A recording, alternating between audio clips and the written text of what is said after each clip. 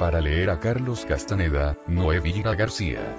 Para leer a Carlos Castaneda es una síntesis crítica de la obra de este singular antropólogo localizada sobre la estrecha relación existente entre las enseñanzas de Don Juan y la antigua cultura tolteca. La obra presenta los elementos fundamentales para entender a Carlos Castaneda y la toltequidad, concatenándolas en un conjunto coherente, para devolver este conocimiento funcional y accesible a nuestra conciencia cotidiana. La obra de Guillermo Marín tiene como referencia implícita el poner, por un lado, en estrecha relación las enseñanzas de Don Juan con su matiz profunda y verdadera y, por otro, clarificar muchos de los términos y conceptos fundamentales para entender las obras de Carlos Castaneda.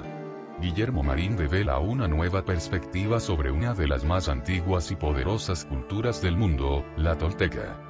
La comprensión de la obra de Carlos Castaneda resulta difícil por dos motivos fundamentales. El primero es que Castaneda nunca ha definido explícitamente la relación que existe entre el conocimiento obtenido de las enseñanzas de Don Juan y la antigua cultura tolteca quitando continuidad y profundidad a su obra. Y, en segundo lugar, muchos de los términos utilizados en las transcripciones no han sido adecuadamente traducidos, con la evidente consecuencia de aumentar la confusión del lector.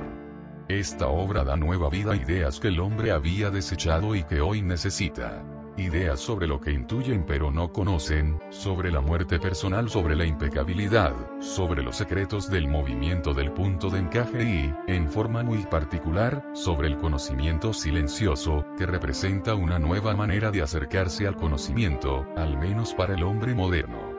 La teoría sobre el inconsciente colectivo, de la que nos habla el psicoanalista Carl Gustav Jung, y la percepción corporal utilizada en la terapia gestalt por el Dr. Fritz Perls, representan algunas de las teorías formuladas en Occidente que de alguna forma se asemejan al concepto de conocimiento silencioso expresado por los antiguos toltecas.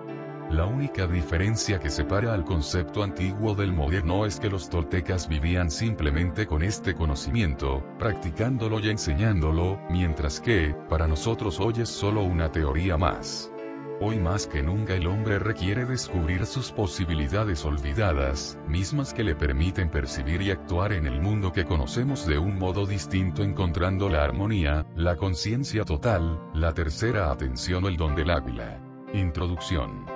Cada una de las culturas con origen autónomo, Egipto, Mesopotamia, China, India, Mesoamérica, cultura andina, han contado con hombres de conocimiento que forjaron la infraestructura filosófica básica sobre la cual se ha desarrollado una multiplicidad de actividades que le dan personalidad y rostro propio.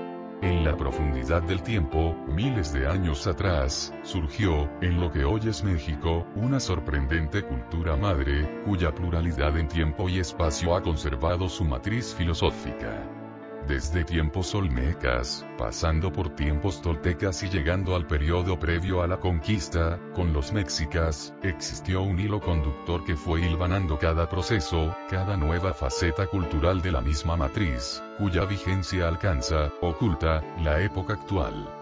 Podemos apreciar esta matriz cultural en los vestigios arqueológicos y en la iconografía de los olmecas, y cómo se mantiene a través del tiempo, del espacio y de las culturas que les siguieron.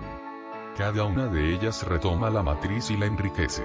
Por eso, el México antiguo se presenta ante nosotros como un mosaico pluricultural, cuya esencia o matriz es la misma.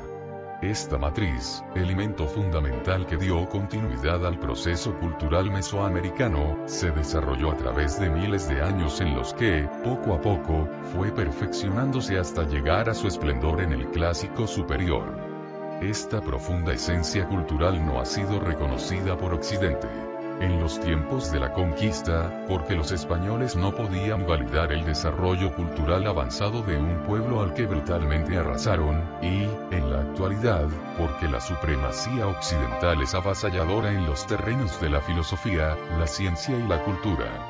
Los vestigios de la grandeza cultural del México antiguo casi sucumbieron en la oscuridad del tiempo y en las mentes de aquellos que fueron dominados por la fuerza. En la actualidad, lejos de reconocer la existencia de una profunda filosofía mesoamericana, se habla de una transfigurada religión politeísta, en la que todavía pesan juicios eurocéntricos. El pasado prehispánico de México representa, para la gran mayoría de quienes detentan el poder político y cultural, una fuente de nacionalismo demagógico. Un patrimonio cultural inconexo de piedras y objetos de gran valor estético cuyo atractivo turístico es importante solo desde el punto de vista económico. Pero ¿dónde está la base en la cual pueda sustentarse la auténtica riqueza de nuestro patrimonio cultural? Solo la existencia de una filosofía mesoamericana puede dar sentido y explicación a miles de años de evolución y desarrollo. ¿Cómo podríamos entender el patrimonio cultural grecolatino sin el estudio del conocimiento legado por sus filósofos y pensadores? Sin esa base fundamental, todos los vestigios de su pasado no tendrían una clara explicación. De la misma manera, sin el conocimiento de la filosofía mesoamericana es más que difícil entender los procesos culturales del México antiguo. 500 años han transcurrido sin que las culturas dominantes hayan podido o querido reconocer, mucho menos entender, la filosofía mesoamericana. En el siglo XVI los preclaros teólogos occidentales debatían acerca de si los indios tenían o no tenían espíritu. Hoy, varios siglos después, hay quienes piensan que no existió una filosofía mesoamericana, simplemente porque no existen bases científicas para comprobarlo. El doctor Rubén Bonifaz Nuño, en su libro Imagen de Tlaloc, cuestiona la actitud de minusvalía que han mantenido los investigadores sobre las culturas del México antiguo. Tal vez así llegue a admitirse que aquellos hombres no eran los primitivos adoradores de la lluvia, preocupados por la abundancia o la pérdida de sus cosechas, por la posible fertilidad de la tierra, sino que tenían un conocimiento metafísico de lo existente un concepto del mundo que hiciera explicables sus cualidades de grandes matemáticos, astrónomos, ingenieros, arquitectos, escultores que, paradójicamente, le son reconocidas de manera universal. Porque todos están de acuerdo en afirmarlo. Los antiguos habitantes de Mesoamérica eran insignes ingenieros y arquitectos. Allí están, demostrándolo, las difícilmente igualables obras de los templos y las plazas edificadas, como por milagro, entre selvas o sobre cumbres vueltas en llanuras, en pantanos convertidos en tierra firme. Allí la asombrosa utilización de los espacios y las masas, como en una música cósmica en que se alternan sin defecto los bloques de sonido con las armoniosas aberturas del silencio. Eran, asimismo, incomparables matemáticos. Así lo prueban sus cálculos, capaces de comprender la noción del cero, la mensurabilidad del movimiento, según las posiciones del antes y del después. Eran, también se admite como indiscutible, poderosos astrónomos la marcha de los cuerpos celestes, las leyes que determinan los avances y los retrocesos de los planetas, el cíclico progreso de las estrellas, las muertes y las resurrecciones de la luna, les eran del todo conocidos por la razón y por la experiencia. De modo que sus medidas del tiempo les daban la facultad de calcular, dentro de un calendario exacto y minucioso, fechas situadas en espacios ya ilimitados.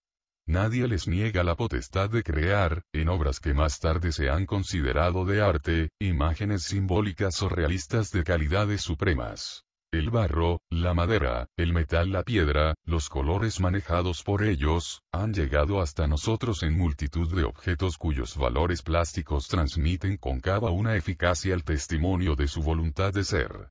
Eran pues, así se reconoce universalmente, magnos artífices, dominadores de técnicas